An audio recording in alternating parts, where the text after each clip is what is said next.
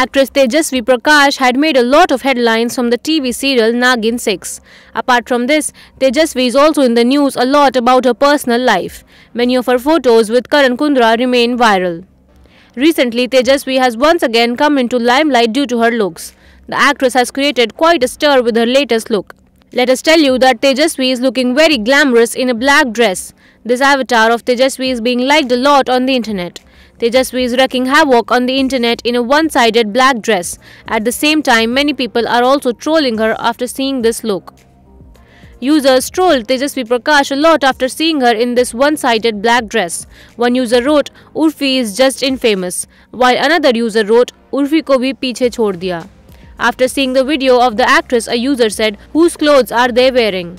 Let us tell you that Tejasvi has worked in many hit serials. The actress made a special place in the hearts of the audience with Ekta Kapoor's show Naagin 6. The show went off air some time ago. Earlier, Tejasvi was also seen in Bigg Boss house. Tejasvi Prakash is a very popular TV actress and she always remains in the limelight. The Naagin actress was the winner of Bigg Boss 15.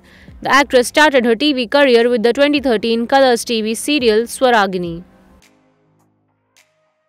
Subscribe to our channel. Just click on the bell icon for all the latest updates.